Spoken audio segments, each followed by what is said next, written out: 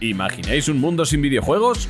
No, en serio, parad un momento a pensar qué haríamos para entretenernos si no tuviésemos videojuegos. Probablemente ver películas o leer libros como los salvajes. Dios, puede que incluso tuviésemos que salir a la calle y relacionarnos con otros seres humanos. Oh, me dan escalofríos solo de pensarlo.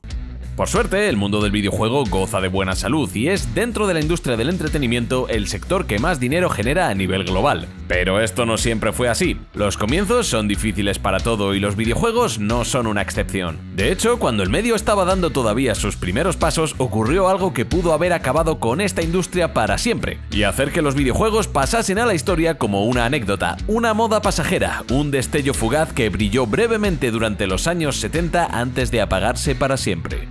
Hoy vamos a viajar al día en que casi mueren los videojuegos. Hoy voy a hablaros de la crisis del videojuego de 1983.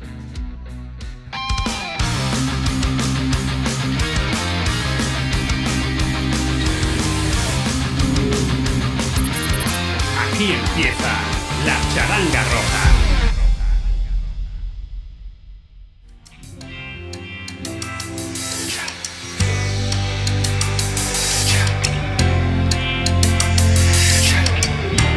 Para entender esta gran crisis que casi desemboca en el fin de los videojuegos es necesario retrotraernos al principio de estos. O mejor dicho, debemos conocer el origen no tanto de los videojuegos, sino de la industria del videojuego.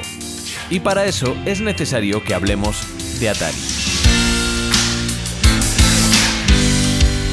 Atari, empresa que muchos conoceréis por ese logo tan guapo que aparecía en Blade Runner y que tantas camisetas ha vendido, es sin duda alguna la empresa más importante de la historia de los videojuegos. ¿Por qué? Pues porque sin Atari no existirían los videojuegos tal y como hoy los conocemos. Ojo que no digo que Atari inventara los videojuegos, los videojuegos ya existían desde los años 50, pero fue Nolan Bushnell, uno de los fundadores de Atari, quien aunando el concepto de los juegos de computación de laboratorio y los pinball accionados por monedas dio lugar a la industria del videojuego y por lo tanto a la popularización de este medio. La historia de Atari es una historia larga y llena de luchas corporativas con mogollón de abogados de por medio. Si queréis conocer más en detalle el origen y sobre todo el legado de Atari, podéis pasaros por este otro vídeo de mi canal, Charan Gaming, donde os hablo de ello. Pero vamos al grano. Atari se hizo enormemente popular gracias a su título de 1972, Pong, una máquina arcade que simulaba una partida de ping-pong y que provocaba una enorme afluencia de consumidores en los bares en los que era instalada. Más tarde y tras el éxito de este arcade apareció la versión casera de Pong, que se conectaba a una televisión y fue una de las primeras consolas de videojuegos. El éxito de este juego fue brutal y claro, la cosa se fue de madre y a Busnell, ya sabéis, fundador de la compañía, le empezó a entrar panoja de la buena en su cuenta corriente. El caso es que solo hay una cosa mejor que tener dinero y es tener cantidades ingentes de dinero. Soy youtuber y sé de lo que hablo. Así que el bueno de Busnell vendió Atari en 1976 al grupo Warner y se dedicó a aquello que más le gustaba en la vida. ¿Los videojuegos? No, los pistones locos llenos de fulanas y cocaína.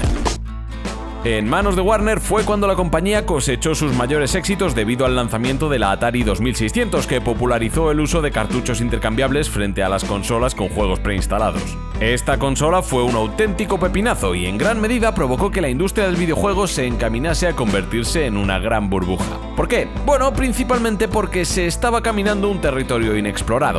Los videojuegos causaban furor entre la juventud y multitud de empresas decidieron subirse al carro empujadas en parte por la codicia y en parte por una bastante laxa regulación de la propiedad intelectual y las patentes que contrasta bastante con la de hoy día.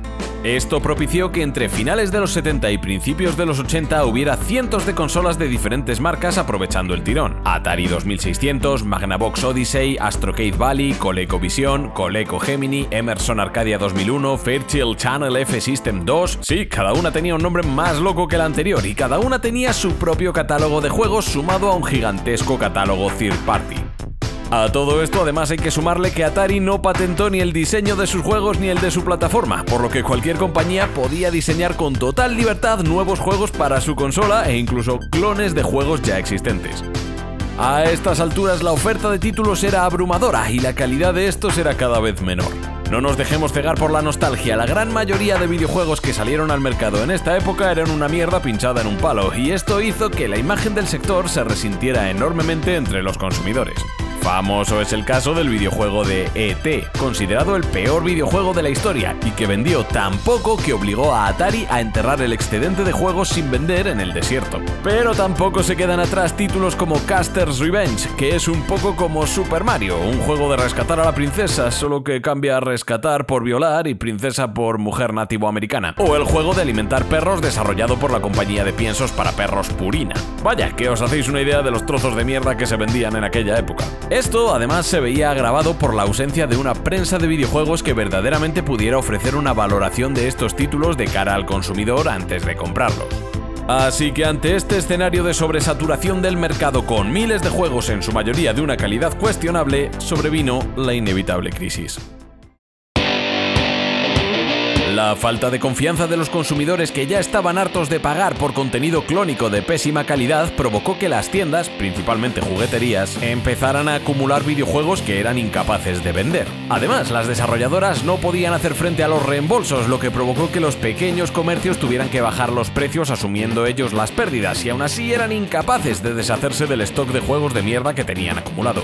Este círculo vicioso provocó que la industria del videojuego, que en 1982 había facturado cerca de 3.000 millones de dólares, pasase a facturar tan solo 100 millones de dólares en 1983. Es decir, el medio pasó de estar en la cresta de la ola a convertirse en algo casi marginal con serias dudas sobre su futura viabilidad.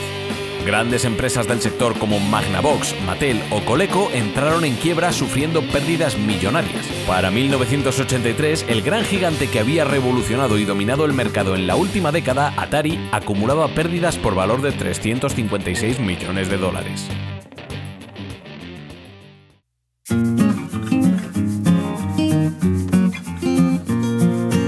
Tras entrar en bancarrota en 1984, Warner se deshizo de Atari vendiéndosela a la competencia. Para entonces, la gran mayoría de empresas pequeñas del sector del videojuego se habían extinguido asfixiadas por las deudas y las pérdidas. En este punto, la viabilidad de los videojuegos como industria era prácticamente nula y ya se veía al medio como una moda pasajera condenada irremediablemente a desaparecer. Pero sabemos que por suerte esto no fue así.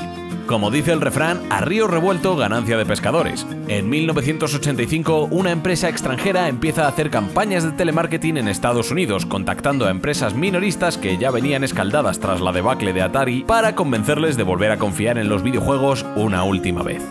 Esta empresa quería vender un nuevo producto en Estados Unidos, un producto que se cuidaban de no llamar consola por las connotaciones negativas que la crisis le había dado al término y al que se referían como sistema de entretenimiento.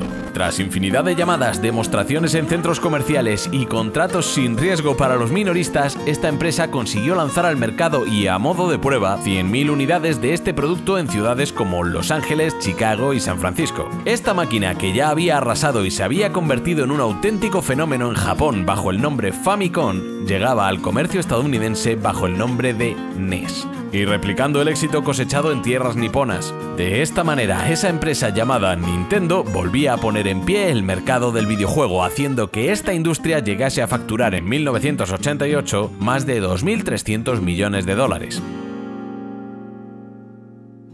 Nintendo se convirtió en la empresa reina de los videojuegos durante finales de los 80, llegando a acaparar el 70% del mercado estadounidense y comenzando su expansión por Europa y el resto del mundo. El resto de la historia ya la conocéis. Ha pasado ya mucho tiempo desde aquel día en que casi mueren los videojuegos y el medio ha evolucionado enormemente desde entonces, convirtiéndose en un gigante del entretenimiento. Pero una de las lecciones que nos dejó la crisis del videojuego del 83 es que no debemos dar las cosas por seguras. El hecho de que la industria del videojuego actual sea gigantesca y facture miles de millones al año no quiere decir que no pueda volver a derrumbarse como un castillo de naipes. La masificación del sector y las malas prácticas de algunas compañías dentro de este que buscan aprovecharse y exprimir al máximo el bolsillo del consumidor a través de precios abusivos, DLCs, micropagos, servicios de suscripción y un largo etcétera, puede un día volver a sembrar ese descontento y esa desconfianza en los consumidores que haga que la rueda se vuelva a parar. ¿Imagináis un mundo sin videojuegos?